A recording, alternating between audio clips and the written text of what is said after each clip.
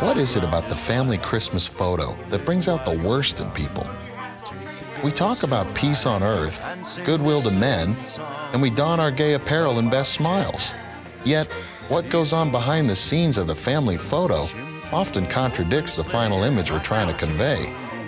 But perhaps this conflict of what we are and what we wish to be is what the Christmas season is all about. The truth that we need someone to save us from ourselves, from our impatience, our frustration, our selfish clash of wills. And perhaps, even in our best moments, what the camera captures isn't the image of a perfect family as we are, but the possibility of what we can be through the hope that Christ brings.